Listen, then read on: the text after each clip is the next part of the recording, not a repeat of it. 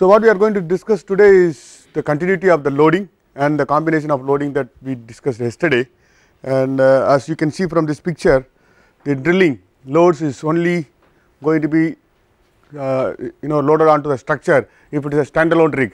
In this case what we are seeing is the uh, rig is supported on the jack-up and basically there is no load transfer from jack-up to the structure. So, it is a standalone rig whereas if you see the, the this type of platforms where complete drilling rig is on the platform itself. So, this workover rig or uh, drilling workover is basically complete loading transfer to the top sides and to the, the jacket. So, in this case what we need to see is every time when you drill one particular uh, well slot, we need to see the variable loading, the loading position changes because it is not going to be one well. In each platform we may have several wells. So, every time when the well is being changed from drilling, you will see that the location of loading could be different. Basically see here there are 3 wells planned in this particular platform. When the drilling is going on here, the load is on the left side. When the drilling is going on the right or the second well or the third well, position of loading will be different. But fortunately for this jack-up rig does not matter because whichever the well is being drilled, all the loads are taken by the jack-up itself. Whereas, when you come to this type of uh, uh, standalone rigs on the top sides, you will see that there is a potential change of location of loading and the magnitude of loading is very large. These drilling rigs could be uh, as heavy as a top side itself. You have seen from this picture, you can see the, the complete drilling rig is, is very massive and uh, that type of loading when the location changes is basically is a variable loading and that is why we want to discuss about this because the variable loading could cause one of the pile for example, when the load is on this left side this pile could actually cut higher axial loading when the load is shifted to the right side well and the same thing can higher on the right side. At the same time when there is a environmental loading for example, when the rig is on the right side and the load is coming from for example, the wind and the wave and the current is coming from the, the left side, it could cause substantial uh, pile and the leg load on this light because the environmental loading is coming from this side and the drilling is going on the right side. So, you could see the combination of effect so, we need to see whether that type of thing will happen and uh, make sure that that combination is taken care. So, basically all what we are going to look at how do we do a combination and uh, basically realistic situation over a period of the design life and every time what load changes especially when the loads are changing. For example, the dead load is not going to change is always going to be uh, constant or slightly varying as you see there. So, typically a standalone rig or we call it workover rig uh, standing on a top side you can see here the, the red line is the load that goes down below the ground uh, making it possible to drill and that is hanging onto the tower. This tower is basically the, the drill tower or drill mast where you will have a hook by which you will you will have the top, top drive which will rotate the, the drilling rig uh, strings and on the sides you will see a lot of utilities wherein you will see that uh, heavy load is there because you need drilling mud. You know during the drilling process to cool down the drill bit you, you need a coolant fluid which normally we have a cementitious fluid supplied from the top. And it gets circulated it goes down and comes up. And uh, after cooling the drill bit. Otherwise what will happen? After several meters of drilling the drill bit will get spoiled and that is why you need to continuously supply conditioned drill fluid. And that is why you need such a large uh, structure there because each of the tank could be bigger than this uh, this room. Is about 10 meter diameter uh, circular tanks wherein you mix the fresh water with cement. And uh, supply this through the drill so that the drill bit gets cooled and when the hot fluid comes up again you recirculate. So, that is the whole idea of this drilling requires large space huge amount of uh, weight and uh, manipulation of all these equipments required. That is why when you put the complete drilling rig on top of the structure, you, you actually have a lot of weight management. In addition, you also need power supply to this drilling rig, who will supply. So, that is why the you need a power generating system on the platform, which will be huge requirement. It is not going to be a, a small power requirement, because you are going to drill 6 kilometer down the earth and that is why the facilities required for drilling could be substantially larger. So, in this you, you basically see here what is our concern is the loads from the drilling rig is shifting from one location to other depending on which well it is being drilled. So, first if you look at the design of the top sides, the girder itself have to be designed for variable position of these loadings and then the corresponding position for jacket depending on which side the environmental loads are acting. So, when we talk about combination what, what is the meaning of combination? The combination is to verify the structure of different class of loading uh, coexistence at any one given time. For example, almost all the time the dead load is going to be there unless you are going to remove it. I do not think any dead load will be removed unless you want to demolish the structure. So, in this case dead loads will be throughout the design life, maybe the facilities loads could vary, you know sometime you may drill, sometime may produce. So, you could see that the drilling loads will be maximum at the time of drilling, but during the time of drilling you may not have the production going on, you may have already shut down. Or there may be some platforms only very few concurrent drilling and production. You call it uh, this, this type of platforms. During drilling you can also have a production backup because previously few wells have been drilled. So, what you need to do is just write down all the sequential loading and then form the set of combination and which needs to be designed in such a way that the, the structure gets the corresponding loading in the analysis and simulation. So, the idea is we need to understand how the, the planning has been done. In fact, this will come from the owners, we want to produce as well as drill or we will drill during non-storm conditions, we may not drill during high sea conditions. So, you just need to write down the sequence that has been uh, accepted by the owner and then you just correspondingly design the structure. So, ultimately what we need to make sure that we have to see whether we have covered all worst case scenarios. In this case we have got maximum compression loads, maximum uplift loads and then maximum moment loads. So, these three scenarios are covered for the design of the structure. Why we need to maximize is in case if it happens the structure should be safe. So, that is why we need to just see that whether we have actually simulated such scenarios and then because you cannot assume it will never happen because you do not know what will be the probability of that coexistence of such loads. For example, typically maximum compression loads, maximum dead load plus maximum the facilities loads and corresponding environmental load which may maximize load on one of the leg which may we do not know. It may all may not happen, but the probability of occurrence we do not know unless you evaluate it. So, in the working stress design we always assume that it may happen and have that combination included. Unless you are sure that it will not happen you cannot remove that load combination from the design process. So, basically that is the idea behind setting a combination of loads. You could do one thing. We can simply forget about uh, this thinking. We simply can add everything that the loads are subjected to on the structure and you can add them without thinking, but that may not be the right way of doing it because you may be over designing it. Typical example will be for example, you have a uh, drill loads only going to happen during non-storm conditions is not it? That means during storm nobody is going to do drilling because of the safety issues. And in that case you do not need to combine the drilling loads with the storm loads. But if you do not want to think you can simply add everything together. And that is what normally is done in onshore structures. We do not differentiate the sequential occurrence of loading. For example, when you design a building you do not design for two type, types of winds the normal wind and the extreme wind. We design for the extreme wind and that is the end because we do not differentiate between these two whereas in offshore we could differentiate and we should differentiate to economize the structure in basically the extreme occurrence of 100 year storm is going to be probability of very small uh, number. That is why that will not be combined with normal operation because that will be rare occurrence. So, that is the idea behind these load combinations. You could easily see that uh, the purpose behind is maximizing compression for design of pile capacity and, and the corresponding columns. Tensions basically the tension load could cause potential problem with uh, pile capacity, it could actually come out is not it and the moment for bending.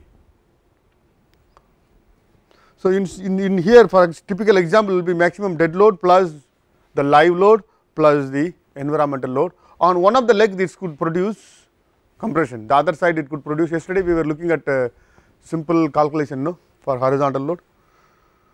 Now, you see here the second one the minimum dead load and remove the live load. This produces definitely a minimum or the the compression effect is minimum on one side that means the tension effect will be higher on the opposite side. So, if you have 4 legs.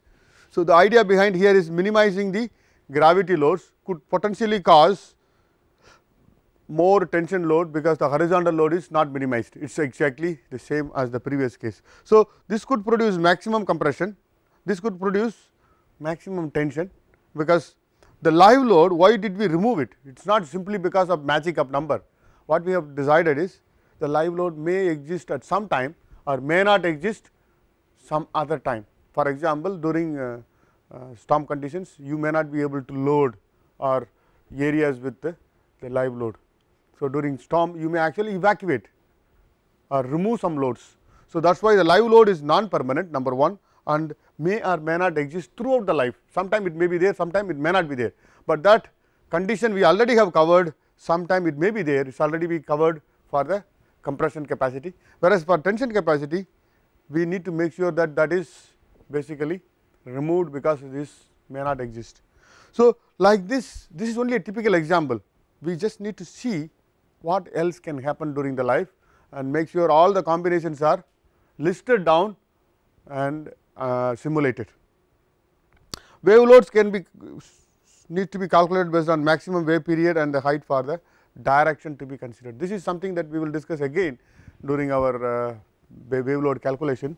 Basically, we need to see throughout the design life what is the maximum sea state that can occur and the recurrence interval. It could be a regular interval of a year or 10 year or 100 year and then see that we design for each one of the activity. In this case, we divide into 1 year operating condition and then 100 year storm condition. That means, if the, the return period is 1 year that is going to occur more frequently in the design period or life of the structure, which will be designed in coexistence with all activities as normal. Why we call it normal operation is the storm conditions or so called the operating storm will always exist. We should not be shutting down the platform or any operation restricted. Basically, regular normal operation should be continuing together with the wind, wave and current, because if you keep shutting down every time a small uh, increase in wave height, you may not be able to perform very efficiently. So, you should design in such a way that such a wave height could be tolerable by the structure, whereas when an extreme condition uh, extreme storm of 100 year return period comes you may actually restrict the operations. Not necessary that you will shut down. Some of the platform actually continue to operate, but you may restrict few operations. For example lifting by a crane. You you saw one uh, platform picture. You see there is a crane here. This purpose of this crane is to transfer cargo from boat to ship boat to platform platform to boat either way and now during storm nobody will use this this crane because it is quite obvious that it will be a risky operation during a storm condition. So, you could restrict some of the operations, but then we could continue to produce because none of this operation is risky because except probably a large load on the jacket could be designed as a structural engineer, whereas when you have a Uh, equipment producing whether it is a 100 year storm condition or 1 year storm condition does not matter because the vessel is the, the, the equipments are fully supported on the structure which is designed for the condition that is experienced by the structure itself. So, the protection can con continue without any disruption, but only some cases some of the production platforms may involve slightly different conditions wherein you may have to shut down. So, it all depends on the operator of the platform he can decide. So, in short the load combination needs to be arrived at based on the functional performance requirement of the platform and the structure, which is not going to be like given in a textbook this is the right one or this is not the right one, but only will be a guideline will be given specific to each platform we need to make sure that all scenarios are covered. I think maximum environmental loads there are several uh, things could uh, could be discussed one of them is basically maximum wave height and corresponding wind. that means the, the joint occurrence probably I think you will you will come across in your hydrodynamic course the joint probability distribution of various parameters wave height, wave period and the direction you know now all, not all three of them going to exist at one instant of time. You may have a maximum wave height, but the associated wave period and the associated wind and the direction everything to be maximum the probability will be very small. This is what we call it the joint probability distribution. I do not know whether you have been introduced.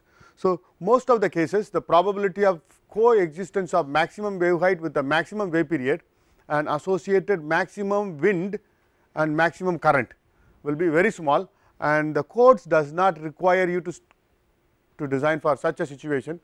So, what we normally do is maximum wave height associated wind that means you may have 10 meter wave height, but a wind speed is slightly smaller than the maximum that may occur at the site. So, likewise you should find out the, the parameters in association with each of the maximum and design for it. Instead you could decide actually take the maximum wave height, maximum wind speed, maximum current. If you design for that I do not think you need to look at a review of all this, because you have considered all the events to be maximum, but that may be a too much of a conservative design which may not be in existence in the real field which is no good is not it because if you design for it it is easy for you, but actually not good for the owner he is going to spend more money.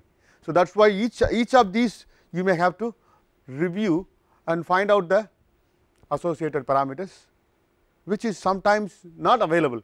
So, then we have to do a probability calculation ourselves what is the probability of Again all of them will be based on mathematical model because unless you have measured data like what we discussed few days back, you may not have any measured data. So, you may actually do a simulation based on prediction models and then use that parameters. So, what is the difference I think we by this time we have got a clear idea what is the difference between 1 year return period and 100 year return period at least once it will occur during the design life which is 100 years if it is spanning across then 100 year return period storm is basically nothing but one at least it will occur within that particular period of time. So, 1 year means is more often it is going to happen that means could be a slightly reduced sea state. So, that is 1 year and 100 year is the designation nothing but the, the recurrence interval. And why we have selected this? Basically API recommends for design of any of the platforms if you would like to choose the design life as 25 years for a typical example select 100 years storm period. That means a factor of 4 you, you do not select a storm of 25 years return period for a 25 years design life. You select a design uh, life is 25 years the wave height associated with 100 years return period is taken as the design storm. Similarly, when you design a structure for a earthquake API recommends you take 200 years return period earthquake rather than just simply if the design of the building is for 100 years we do not take 100 years return period uh, earthquake take 200 years that is a suggestion with a because there are uncertainties in evaluation of these uh, parameters. So, they apply almost a factor of 4 and that is the practice for so many years which has been adapted successfully. But even after this you see that uh, 2 3 years back I think Gulf of Mexico they had uh, wave heights used in the design exceeded by almost 30 to 40 percent which was actually uh, based on experience. They have been using 100 year storm condition of something like 21 meters, but during the earlier storm it exceeded all of them it became in, in fact uh, 30 percent higher. Now, they have revised the codes they have revised the database because the 100 year storm what was in their mind for so many years of design has exceeded at that particular storm condition. So, this needs to be reviewed every few years to so that you, you keep in uh, update with the changes that is happening in the earth. So, basically it will be reviewed every 10 years 20 years depending on the information available because 100 year storm condition we may not be able to predict that accurately. Similarly, the design wind speed for substructure and superstructure we just need to I think we did speak about this um, or maybe maybe not the variation of wind speed with time I think we did talk about this is not it. So, the API does give a guidance very very easily for jacket structure design using 1 hour average. For deck structure you design with a 1 minute average. That means slightly increased wind speed whereas compared to the jacket 1 hour average which will be slightly reduced. And the local design design with the, the highest or so called the gust wind. That will be the highest uh, you will see mostly 3 second gust could potentially be higher. A typical design wind speed is given in this at the bottom of the table you can see there 53 meter per second which could be substantially high if you, you can't even stand when a wind blows in that kind of speed 192 kilometer per hour. In fact, if you remember few months back there was a storm in the east coast the wind speeds were as much as 180 kilometer per hour. So, probably if you have visited south so much of trees and the houses and all the uh, electrical poles were just dismantled just within few hours. So, you could see this kind of speed if, uh, if it is on the platform what you see here for example, you go this to this picture is fully congested and basically covered with so much of facilities. If 180 or 190 kilometer per hour wind speed is acting, you could see the amount of loads induced on the structure could be substantial. And that is where you will see that the design of substructure becomes very important. Otherwise you will see toppling or pull out of the piles especially when the wind is acting from this direction this legs and this leg will get substantially higher pull out loads. So, unless the pile is designed for you could see that the pile can come out.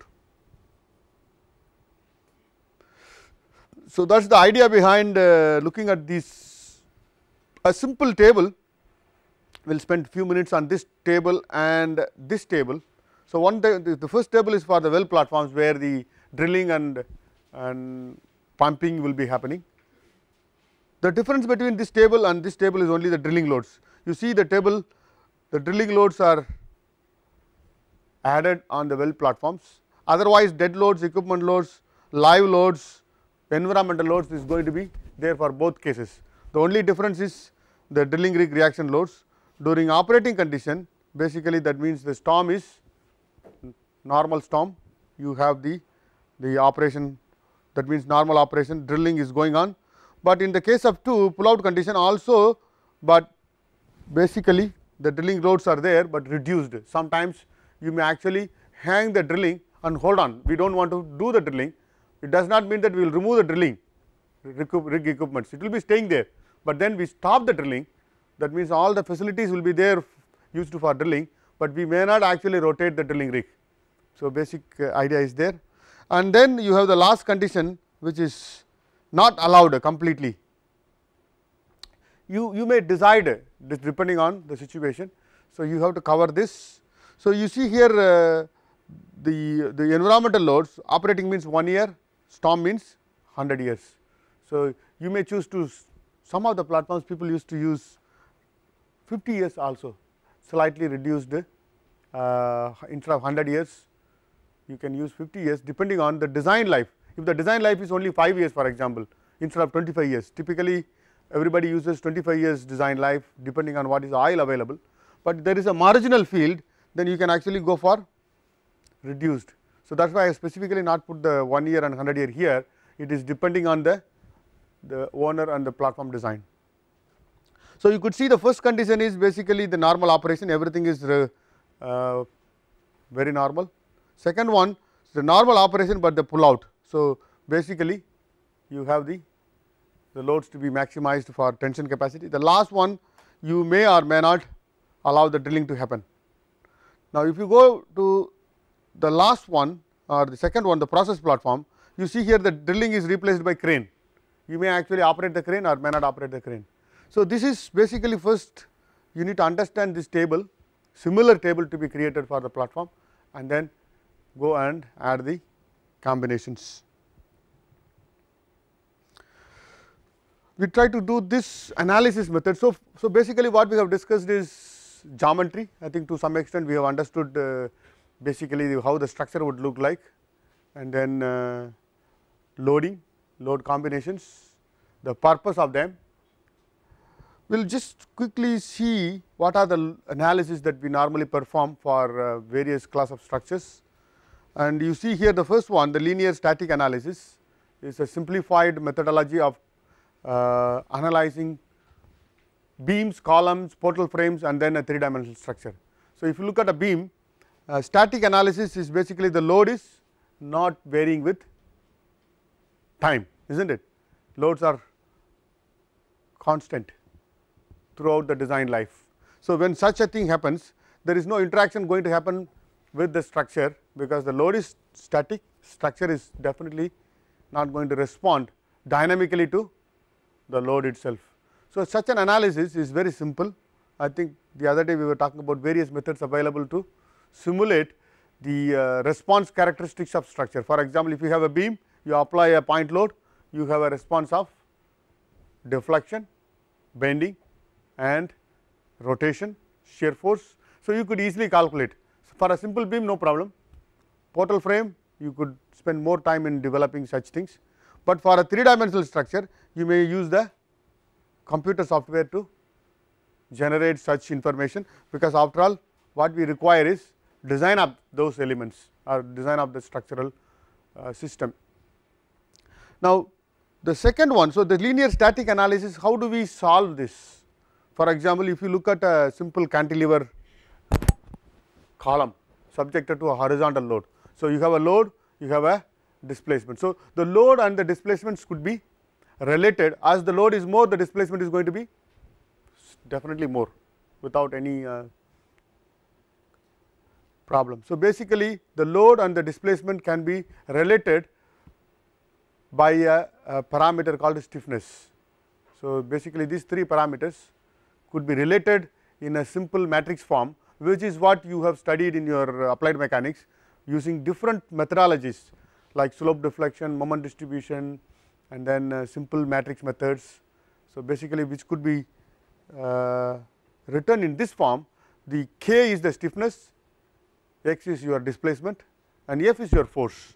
The load applied. So, if you go back and then sit down write down the equation for your cantilever column f is the applied horizontal force, x is your displacement horizontal and k is the stiffness you could easily find out all the methods will produce exactly the same result including the, the computer simulation.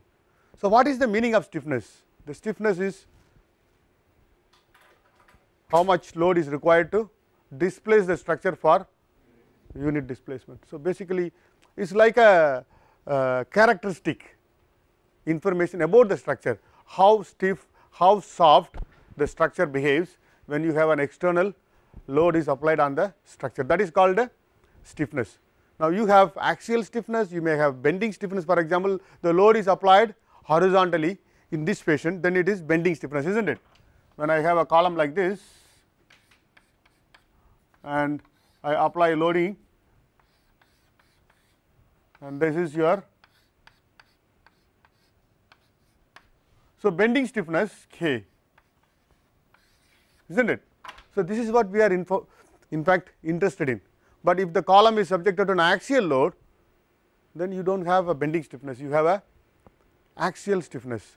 So, corresponding to the degree of freedom being mobilized we need to find out what is the stiffness. So, for the same column we could write all 6 directional loading and 6 directions of stiffnesses could be obtained.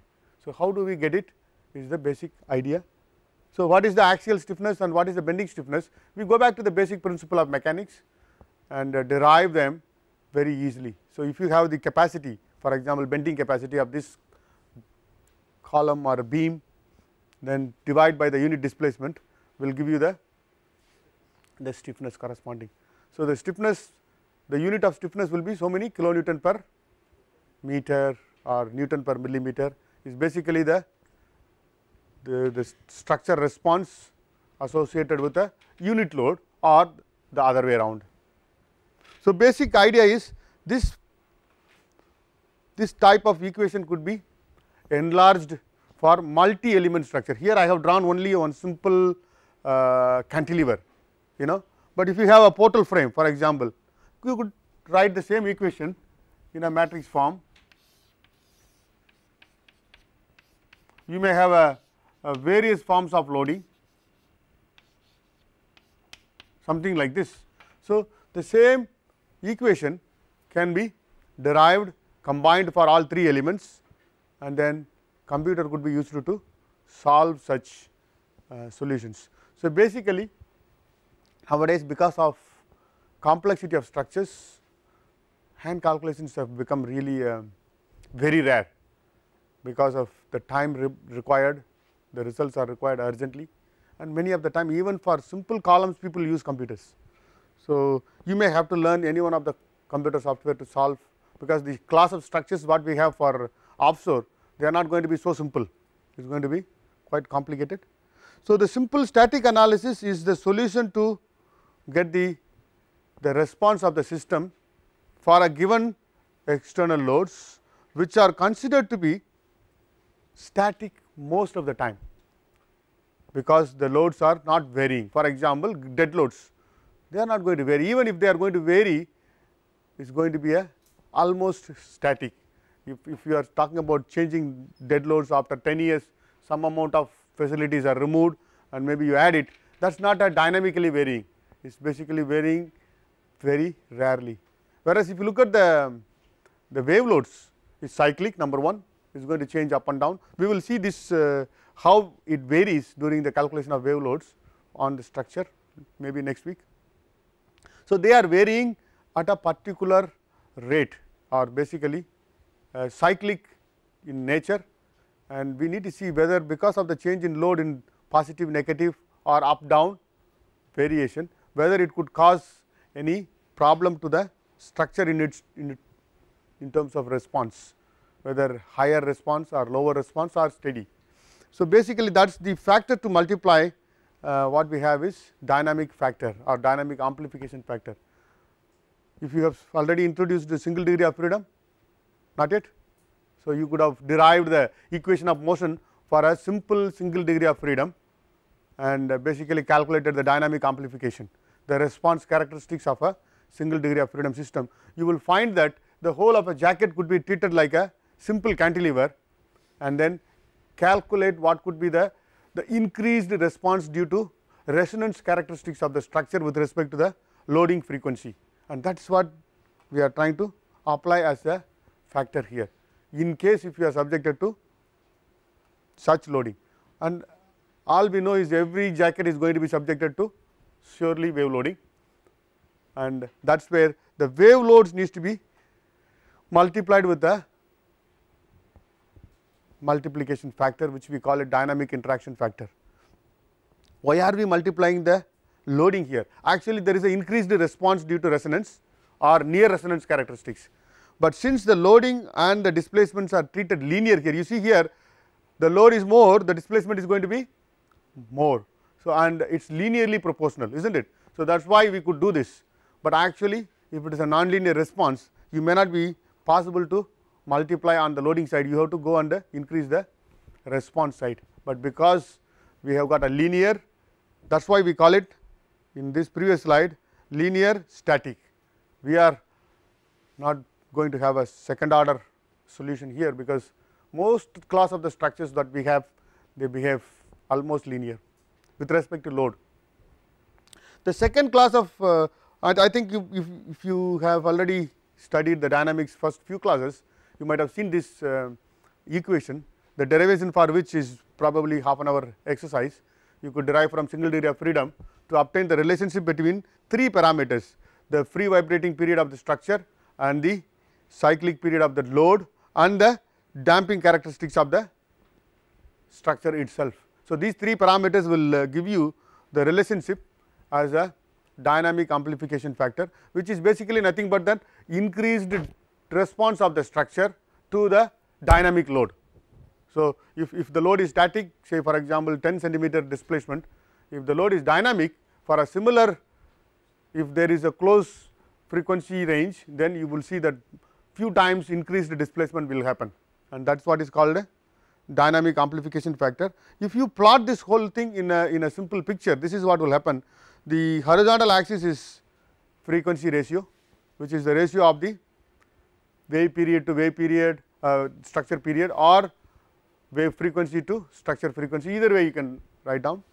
In this particular case I have just put it as natural period of the structure which is nothing but the first vibrating mode you could obtain very easily from a free vibration test divided by the period of the load it could be wave it could be other forms of loading. So, you see here one important information is dynamic amplification of 1 means the load is static. There is no increased response of the system. Whereas when you look at the right sides there are several colors given. As as long as the structure is having some damping the response could be lower. If the damping is very low then so how do we actually understand this? Basically what is the meaning of damping? Damping is the material characteristics nothing to do with the stiffness stiffness is a characteristics associated with static displacement whereas the damping is basically consists of several subcomponents. The most important for us is the material damping. The second one is the most important for offshore or ocean is the fluid damping. For example, we have a structure built in sea water when the structure is given at the loading it is going to oscillate left and right if you have a loading this way right.